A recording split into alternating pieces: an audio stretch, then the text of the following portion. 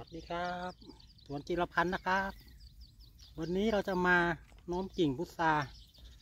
เนื่องจากพุทรามีความสูง จะชนมุ้งหมดแล้ว เดี๋ยววันนี้เราจะมาดึงให้มันต่ำลง แล้วก็เป็นการช่วยให้ติดดอกได้ดีขึ้น เริ่มจาก เราเอาเชือกที่เราต้องการก่อน มามัดทำเป็นห่วง มัดเข้าไปเลยครับห่วงห่วงนี้จะเอาไว้ ยึดเพื่อไม่ให้เชือกรูดเวลาเรามัดกับโคนต้น ไม่เช่นนั้น มันจะทำให้ต้นถูกรัด แล้วก็กิ่งเสียหายได้ เดี๋ยวไปดูกันต่อครับ